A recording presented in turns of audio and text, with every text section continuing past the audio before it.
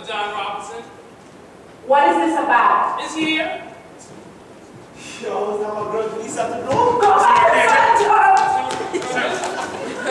What is going on here? We have Warren, man. Hey, what? Relax. Relax.